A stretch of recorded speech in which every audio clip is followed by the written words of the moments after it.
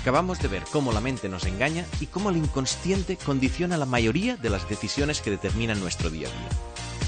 Nuestro próximo cerebro investiga cómo estos sesgos cognitivos afectan a nuestro comportamiento laboral, de pareja, en las compras o incluso político. Lo llaman economía conductual.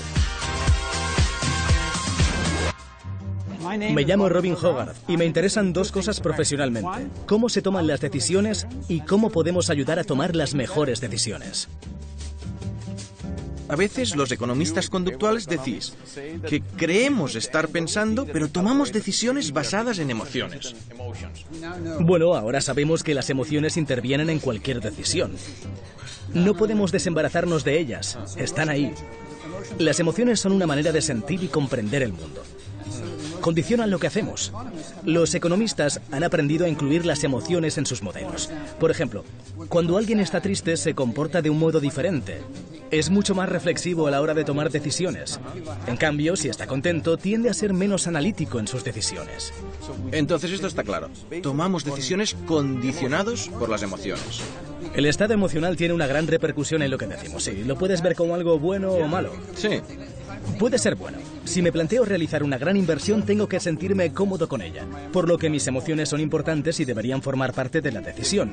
Entonces, cuando nos planteamos algo y tomamos una decisión que creemos que es racional, en realidad no estamos razonando, sino racionalizándola.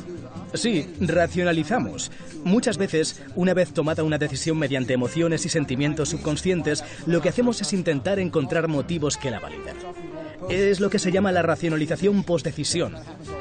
Ocurre todo el tiempo. Por ejemplo, si vas de compras, ¿Sí? igual no querías comprar esos zapatos tan bonitos, pero luego los ves y te convences a ti mismo. Realmente los necesitaba. Los que tengo no daban el pego, porque claro, los compraste ayer. Ah, de alguna manera es como engañarnos en nosotros mismos, ¿no? Los engañamos a nosotros mismos, sí, pero mientras no hagamos daño a nadie, no está tan mal. ¿Puedes explicarnos por qué resulta tan difícil cambiar de opinión? En mi opinión sucede lo siguiente. El mundo es muy complejo, pero tenemos una visión simplificada del mundo. Queremos que sea sencillo. No nos gusta la complejidad porque nos impide actuar, así que nos vemos forzados, en cierto modo, a adoptar una visión simple del mundo. Y una vez nos la hemos forjado, tendemos a no querer cambiarla. En parte creo que es por nuestras limitaciones cognitivas. No podemos permitirnos ni imaginar todas las incertezas. Por consiguiente, vivimos con nuestros propios mapas del mundo. ¿Dirías que cambiar de manera de pensar es una señal de inteligencia? Sí. Cambiar de parecer indica inteligencia, porque al fin y al cabo consiste en actualizar las creencias de un modo correcto. Alguien que cambia lo que piensa, no en todo, pero si cambia una creencia en función de la experiencia, así es como funciona la ciencia, ¿no? Sí, exacto. Me refiero a que se basa en las evidencias, y es realmente importante a la hora de tomar decisiones intentar basarse en las evidencias. ¿Cuál es el proceso cognitivo de alguien que dice, no, las vacunas son muy peligrosas?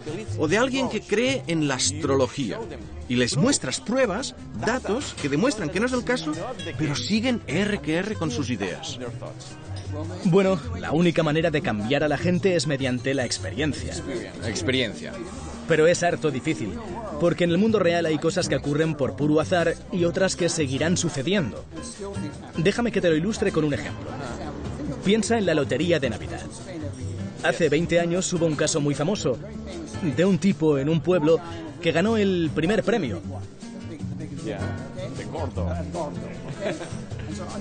E inmediatamente todas las televisiones fueron al pueblo a dar la noticia y le preguntaron, ¿por qué elegiste este número? El hombre les miró y les dijo, pues fui a por un boleto que acabara en 48. Lo elegí y lo compré. Y a la pregunta de por qué, su respuesta fue, tuve un sueño, soñé con el número 7, soñé con el 7 siete noches seguidas. Y 7 por 7 son 48. Eh, ¿Se equivocó? Obviamente se equivocó, en el sentido de que 7 por 7 son 49. Pero no se equivocó si tenemos en cuenta que ganó el gordo. Bueno, Así que nos encontramos con situaciones en las que ocurre algo por puro azar y la gente empieza a interpretarlo de varios modos. No responde a nada racional, es puro azar. Pero se interpreta y las interpretaciones asociadas con la experiencia son muy importantes. Se nos da muy mal hacer cálculos. ¿Y quién se aprovecha de nuestros cálculos erróneos, de los conceptos de la economía conductual?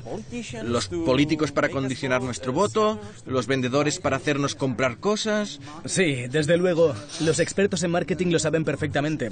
Saben que la posición de las cosas en una tienda es importante. Por ejemplo, en una tienda cuando entras, ¿qué miras? Las cosas que tengo a la vista. Las que están a tu altura. ¿Y qué colocan allá? Los productos más caros. Una de las claves es que tenemos una capacidad de procesar la información limitada. Sí. Por tanto, lo importante es captar la atención. Ok. En resumidas cuentas, quien controla la atención controla el cotarro. Herbert Simon, un investigador muy famoso que ganó un Nobel, decía que el recurso económico más escaso del mundo es la atención. Si queremos ser más listos, ¿deberíamos guiarnos más por las emociones o por la razón? De hecho, hay que aceptar que las emociones forman parte del sistema de toma de decisiones. Plantearse las emociones como datos informativos, porque las emociones nos dicen algo. No significa que haya que hacer lo que nos dictan las emociones, pero sí decirse, estoy obteniendo información mediante las emociones. Ahora debería contrastarlo con el resto de reflexiones por si entran en conflicto. O sea, ser conscientes de que estás tomando decisiones emocionalmente y que pueden ser útiles pero también engañarte, porque las emociones son datos. Y deben usarse con inteligencia.